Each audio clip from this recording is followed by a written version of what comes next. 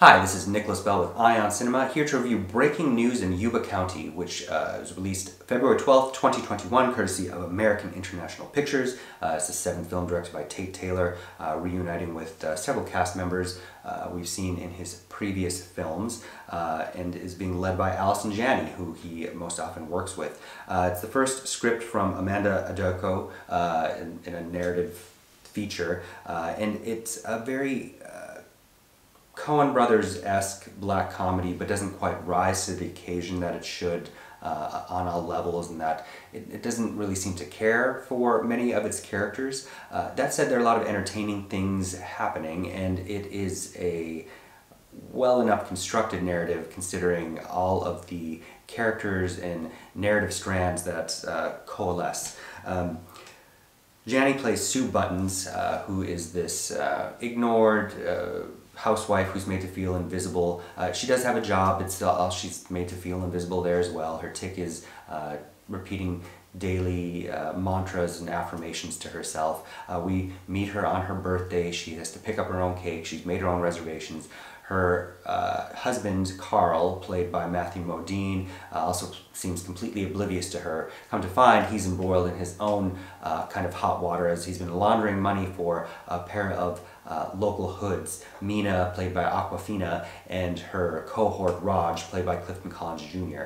Uh, and Mina's father uh, has given them $30 million to put at the foot of Matthew Modine's desk and told that he has to launder it immediately. Uh, he buckles under the pressure, he's tired of doing that, so he decides to uh, go meet his mistress, uh, Leah Norton, played by Bridget Everett, and take the money and run. Uh, but Allison Janney, who's been upset that uh, he hasn't responded to any of her texts about dinner, uh, ends up following him, discovers him in coitus, and uh, he has a heart attack and dies. And then it's the ripple effects from what she does there. Uh, she chooses to bury his body at the playground outside of the motel. Uh, that causes a ripple effect because then she goes on the news. She's desiring to be seen and have attention. Uh, her her half sister, played by Mila Kunis, uh, is a, a television reporter, uh, although not a very notable one, and she sees this as an opportunity um, to make a story about her sister, before Carl has effectively been um, reported missing. Uh, some uh, detective played by Regina Hall, who's kind of a, a shining uh, member of the cast, uh, of course starts to investigate and suspect Sue, uh, but the other things going on with Awkwafina and Clifton Collins throw everybody off the scent.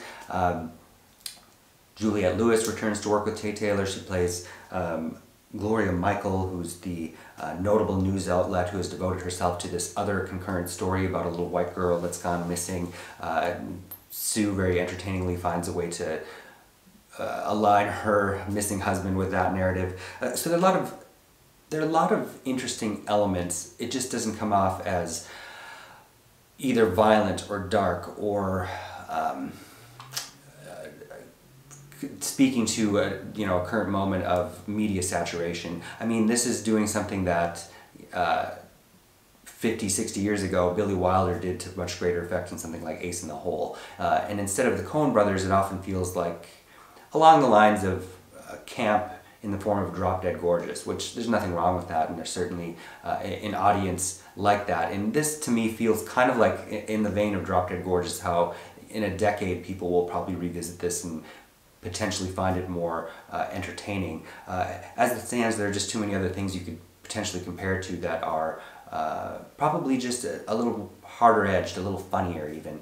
Um, all, overall, I would give Breaking News in Yuba County two and a half out of five stars. Thank you. Hey, this is Eric from IonCinema.com. If you want to support us, subscribe below.